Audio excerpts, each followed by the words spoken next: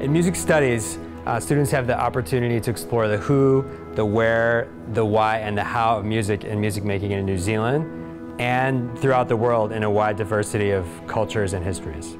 So I've had the opportunities to actually interact with ethnic music instruments as well as to participate in forum discussions about music history. My studies in English literature and musicology have complemented each other. It's really intertwining. If you look at cultural movements like modernism or something, you get to read about it and then also hear what's going on with those composers. So that's really exciting to put all the pieces of the puzzle together. And also just academic research skills are pretty transferable. So once you've really got your head around research or good interview techniques or how to like get the nitty gritty out of a piece of writing, that's very transferable between the two. It's really helpful to be doing both. Studying and living in Wellington is great because it's quite an artsy city and kind of cultural hub.